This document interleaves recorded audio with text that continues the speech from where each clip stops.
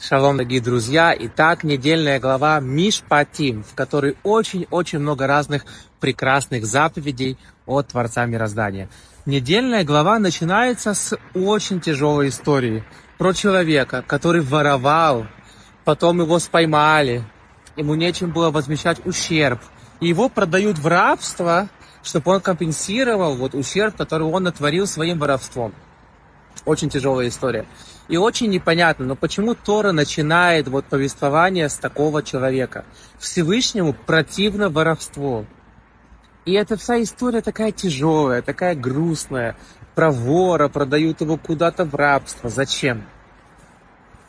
Представьте себе человека, у которого 10 сыновей. Первый сын там в хай-теке, второй бизнесмен, третий в политике, четвертый хирург мирового какого-то значения спасает людей. Все сыновья просто, ну, очень преуспели, каждый в своей сфере, кто-то даже стал раввином. Десятый сын, к сожалению, наркоман. Вор. И прямо, ну, тяжелейшая история. О каком сыне думает отец постоянно? Не про того, который врач, раввин, политик, бизнесмен, экономист. Про них он вообще не думает, у них все хорошо, слава богу. Он постоянно думает про десятого сына. Мой мальчик бедный где-то там валяется на улице сегодня, где он ночует? А он завтракал, ужинал, а он здоров, он постоянно про него думает.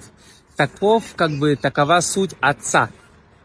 Всевышний, он наш отец он начинает главу с этого несчастного человека, который воровал, которого продали в рабство, сказать нам всем, что ему дорог каждый, даже человек, который так сильно оступился, заблудился и делает такие большие ошибки. Всевышний любит каждого. И особенно такого, который в беде, он ждет, как ему помочь, он ждет его молитвы, он ждет какого-то минимального шага ко Всевышнему, и тогда Всевышний даст ему спасение, откроет ему все-все-все двери. Поэтому глава начинается с такого тяжелой судьбы человека. Потому что Всевышний кричит, ты мне дорог, я про тебя думаю, приходи ко мне.